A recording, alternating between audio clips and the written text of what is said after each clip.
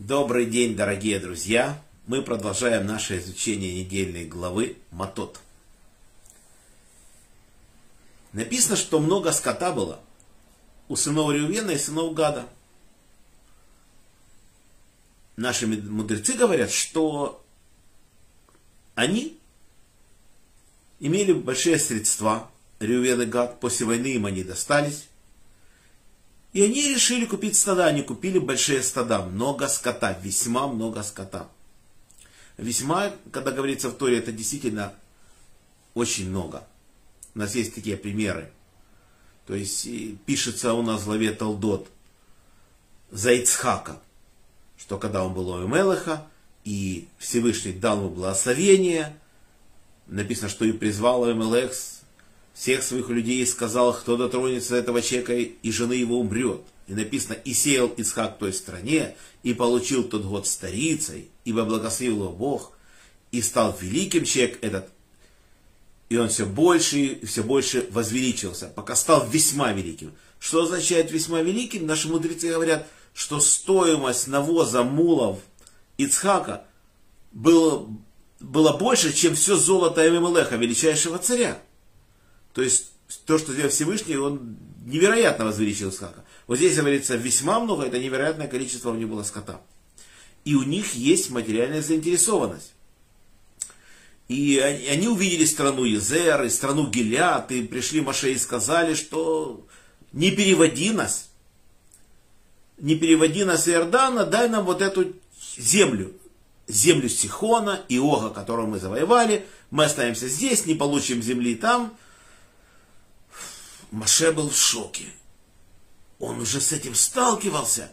Мы когда пошли в разведку, мы знаем, чем это закончится. Мы теперь 40 лет в пустыне. Маше говорит, ваши братья пойдут на войну, вы будете здесь сидеть? И говорит, зачем склоняете вы, сынов Израиля, не переходить в страну, которую мы пришли, Всевышний сказал идти в страну. И они, конечно, попали в ситуацию, разведчики же тогда внушили нам страх сердца, и Всевышний что тогда сделал? Сказал, что вы теперь будете 40 лет в пустыне, вы плакали в эту ночь напрасно, теперь будете плакать в эту ночь не напрасно, ночь на 9 ава. И теперь мы 40 лет в пустыне. Вы хотите то же самое сделать и сейчас, то мы вообще-то не войдем в страну, не выполним повеление Всевышнего. В общем, и говорит Маше, что все они погибли, эти разведчики, исключая лишь Калева, сына Ефуне, сына Кназа, и Гожа, сына Нуна. Задается вопрос, что значит сын Кназа? Если его зовут Калев, сын Ефуне. И наши мудрецы говорят, что его отчима звали Кназ. Поэтому он также сын Кназа. Вообще Калев, мы знаем, личность загадочная, трудно себе представить. Его действительно родил не Хифуне, его родил Хицрон, он вообще внук Переца. И Тора его называет Калев. Потом мы читаем книги Деврея Мим, это книга Писания, что его называют Калувай – и там мы читаем тоже, что его зовут Мерет. И мы знаем, что то он сын Калев сын Хицрона, то он Калев сын Ефуне, то он Калев сын Кназа, как мы здесь читаем. Потом мы читаем, что Калев сын Хура. И мы говорим, как это Калев сын Хура? Ведь Хур родил Ури, Ури родил Бецалеля. А Калев родил Хура с Мирьям, сестрой Маше. И женился. Как это так может быть? Наши мудрецы смотрят э, на это место в Девраямим 1 во второй главе и говорят, что это другой калиф. То есть, возможно, Хур родил сына, брата Ури, и назвал его Калев по имени своего отца, возможно. То есть загадочная личность Калев. Э, вот один из вариантов здесь. Немножко мы отвлеклись. И теперь нас Маша говорит, что вы сборище людей грешных. Значит, они опомнились и сказали, что мы пойдем, мы пойдем впереди всех наших братьев, мы будем воевать, пока не завоюют их полностью страну. И только тогда мы получим эту землю. Еще говорят они, Реувен и Гад, что мы построим сначала города для скота, то есть загоны для скота и дома для детей наши города построим, и та пойдем. Наши мудрецы замечают, говорит, ну сначала следовало бы сказать города для детей, и потом загоны для скота. Они говорят наоборот, то есть у них материальная часть на первом месте. Это мудрецы наши видят.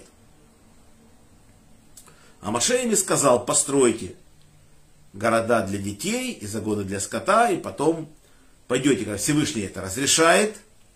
И Маше говорит, он говорит это, Егошу сына Нуна и Илязару священнику, он говорит, что если они выполнят то, что они говорят, говорят потому что Маше уже не будет, мы знаем, что Маше уходит, и если они это выполняют, только в этом случае они получат эту землю за Иорданом, царство Ога, царство Сихона, бывшее в Башане. То есть все забирает пусть тогда, но если нет, получит землю со всеми братьями своими на той стороне, эту землю не получат. Четко он дал приказ Элязару Коина и Гошу сына Нуна и главу отчи колен снов Израиля.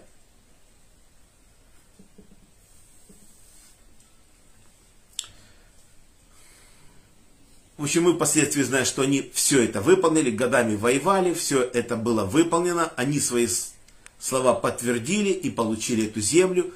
И потом написано, что отдал он землю, Маше отдал землю, колену Ревена, колену Гада и половину колена Минаше. Причем здесь Минаше? Минаше не подходит, ничего не просит. Оказывается, Иосиф, будучи фараоном, он купил эту землю. И теперь она просто по наследству досталась колена Минаше. Так наши мудрецы говорят. Есть другая версия, что Минаше был военным министром Египта, и он завоевал эту землю, и она досталась по наследству его потомкам, вот половине колена Минаше. И написано, что отдал землю эту Еиру сына Минаше и Махиру сына Минаше, и потом некто Навах пошел, завоевал Кнат, назвал его по имени своему Навах.